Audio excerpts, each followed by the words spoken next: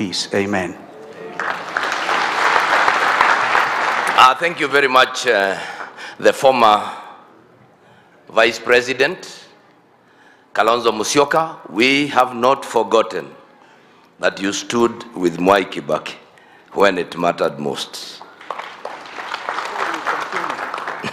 Namuuliza Bwana Kinywa because Mheshimiwa Waziri wa Elimu, I handled Kyanguli tragedy when I was the Minister for Education, like you.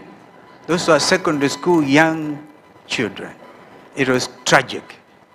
Then we came up with this amazing approach kwamba katika all the school dormitories, jameni, msikubali milango ifunguliwe kindani, iwe na inasukumwa nje, at least watoto wanaweza kuescape. PS Sang, I think you are following on these issues.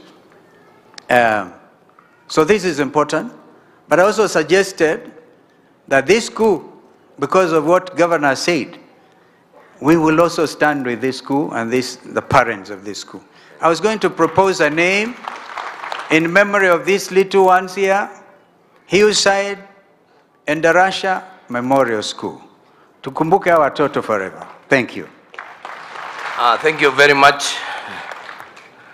Uh, kabla sasa nimuite waziri wa elimu, I want to just thank you for coming. And I will tell you a very simple thing that we as a community are not known to stand and look at things. For every action, there will be a reaction. That's all I want to say. For every action, there will be, for every action, there will be a reaction. It is that simple. There will be no more to say. Uh, mine is to say that now, with a lot of Uh, humility and respect,